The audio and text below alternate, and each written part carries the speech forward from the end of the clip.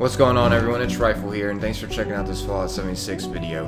This is going to be a start to a new series where I'm going to try to find better locations to drop a nuke at in Fallout 76. As you guys may know, the main locations at the moment is White Springs because there's tons of adds that do spawn here to get tons of experience and loots, which you can just leave and rejoin the area that you nuke to get all the enemies to spawn again for even more experience and loots. But of course, that's going to require you to rejoin someone that stayed in the server that you nuked, or vice versa. Someone leaves and you stay in the server. I'm not going to hate though, White Springs is a very great location to nuke. But the goal out of the series is to find just as good of a location to actually drop the bombs. Because I don't know about you guys but I'm tired of seeing nukes dropped at White Springs. And there is also a lot of nukes that are dropped over at this Fissure Site Prime at the bottom right of the map.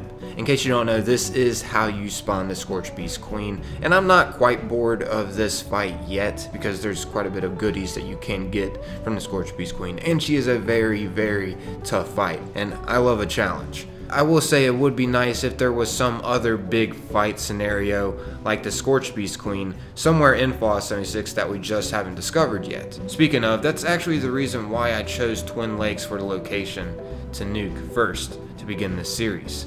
The reason why is because there is a super behemoth that is guaranteed to spawn over by this area. And me and my team is going to be finding out if we do go and nuke Twin Lakes, if that would transform the super behemoth into a similar fight like the Scorchbeast Queen. I'm really excited on whether or not we'll be able to transform this behemoth into something like Swan that we experienced in Fallout 4. I mean, after all, this spot and how it's sleeping in the water and everything, it's very, very similar to Swan. So, so maybe it could transform into a behemoth similar to it. I mean, I don't know. I hope at least it has some kind of unique name. So, hey, let's go ahead and jump into this. If you find this enjoyable, consider leaving a like. That is always greatly appreciated. And also, maybe if you want, stick around and subscribe for more Fallout 76 content. That's totally up to you, though. So I'm going to be showing you where the behemoth exactly spawns at, over by Twin Lakes. As you can see, here's the location to that.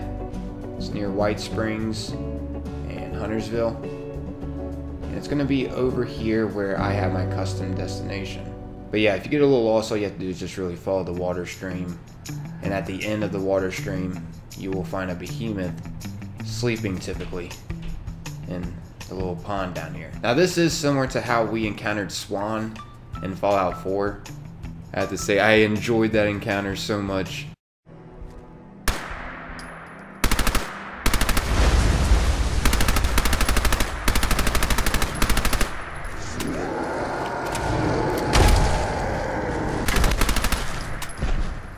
That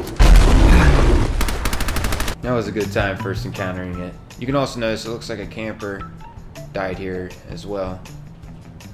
This looks like a nice fishing spot, to be honest. But yeah, right in front of this fisherman, you can just see this giant beast with its head down in the water. That's how it sleeps. Just face down in the water. Oh my gosh. I'm gonna go ahead and jump on top of its back. Uh, you? Uh, what? Okay. Uh, you? Okay, so it seems like you have to actually hit this guy to start this fight. Go ahead, bonk him. And bam! Check it out. Pretty sweet. And scary. I'm using a pretty powerful weapon. Didn't really get nothing too good from them this trip, but you can get some decent loot from them. As you can see, this time around, I got a Nuka Quantum grenade plan. I mean, that isn't too shabby. But let's see what happens if we end up dropping a nuke here, if we get a similar experience like the Scorched Beast Queen. Maybe this behemoth will transform into an even more powerful behemoth that we have to take on. I'm hoping it's no walk in the park and this actually works. So, as you can see, we are about to officially nuke Twin Lakes area to see what actually happens. Let's make it over there so we can see the explosion.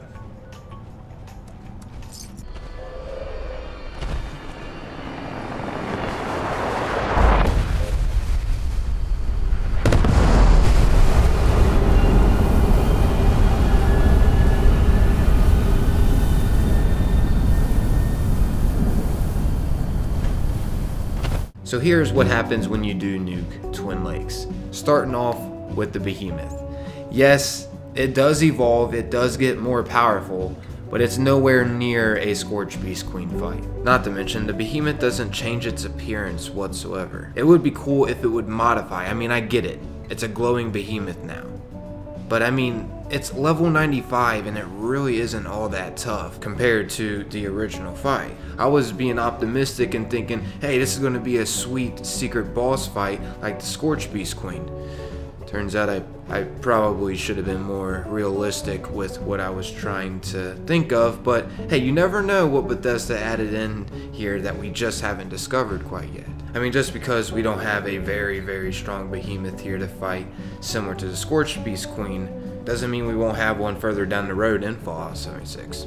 You never know what they could update into the game. And not to mention, it doesn't seem like the loot really improved compared to the original Behemoth. Just throwing it out there. I will say though, of course, you do get more experience taking out this version than the original. So yeah, speaking of experience, it seems that you'd get the most out of your nuke if you would nuke White Springs rather than Twin Lakes. That is, if you are going for experience. I mean, seriously, if any of you have any suggestions on what could possibly top White Springs with experience wise, feel free to leave it down below in the comments. We may test it out in a future episode because we are on the hunt to show the community places to nuke that are actually useful like White Springs and fighting the Scorchbeast Queen. So overall, nuking Twin Lakes isn't all that useful for experience. It is pretty useful if you are looking for raw cobalt flux. There is tons of gloam sap around on the trees, and also there's tons of rad stags that you can take out for high radiation fluids, and I found a few glowing mass around in the area off enemies as well. Overall, it's way better to nuke White Springs or the Fissure Site Prime than this. So yeah, that's really it though for Twin Lakes. Hope you found this enjoyable, and once again, this is a start to a new series that I'll be continuing for a little while over time until we actually find more places that are worth nuking because I know it can take quite a bit of time to officially launch the nuke and you want to make sure you are launching a nuke at an area that is worth your while. I understand, time is valuable. That's why I thought this series would be something enjoyable for the Fallout 76 community. Hopefully you all end up enjoying it. If you do, once again, consider leaving a like. That is always greatly appreciated, everyone. And hey, if you are new around here, once again, I'm going to leave you a friendly reminder. Consider sticking around, subscribing for more future Fallout 76 content. And if you don't like what you see in the future, you know, just simply unsubscribe. That's alright, I'm not trying to force you to stick around. I just hope you enjoy what I actually produce. I'm out of here though, everybody. Thanks for taking the time to watch and listen. Until next time, peace.